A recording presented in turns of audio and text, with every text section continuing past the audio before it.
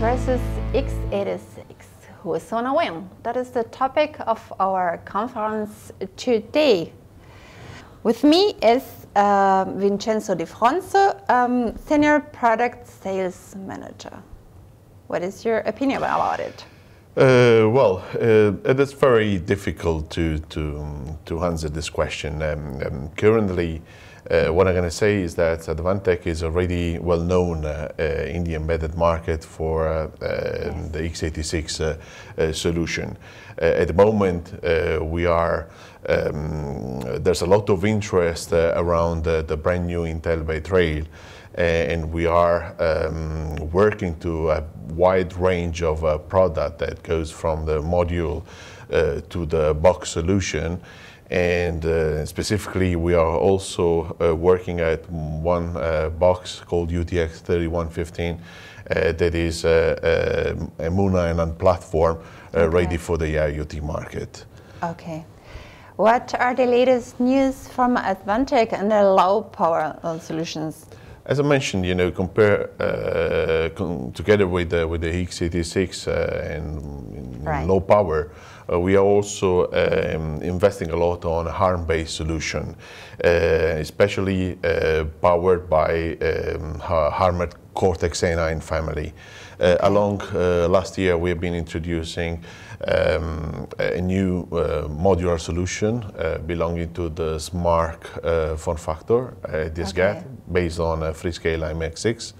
We are working uh, to create the, the, the, the, right environment for the software developers. We already start okay. a partnership with a, um, a company called um, Adeneo Embedded for the development of uh, Microsoft uh, uh, Windows Embedded Compact 2013 BSP. Oh, okay. and we're also moving um, to some new um, single board computer, which we see uh, very interesting in, in the marketplace, especially for, for the okay. for the based on a ARM architecture. This is because we have already a lot of business based on a 3.5 inch form factor, and we okay. believe that could be okay. a good replacement. And finally, we have um, plan for a box uh, solution that we see uh, very close uh, to the IoT, uh, the Internet of Things mm -hmm, market. Mm -hmm.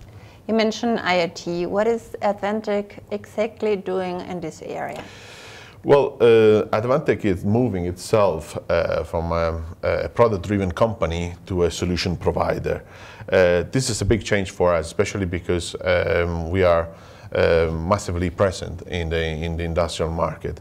Uh, okay. However, uh, from this perspective, we are working to create a, a good environment uh, especially from uh, the, the software point of view that allowed our okay. customer and our uh, partner to um, enable and to uh, de de develop specific IoT devices. Interoperability is the main and the key word from this point yes. of view. And, um, and therefore, um, you know, on our side, we're working on two technology uh, called iManager and SUSIAccess that uh, provide, you know, the complete okay. tool uh, to, to achieve um, uh, this goal in the interoperability and, uh, you know, on the IoT devices. Right. Thank you, uh, Vincenzo, for this interview and for the insights. Thank you.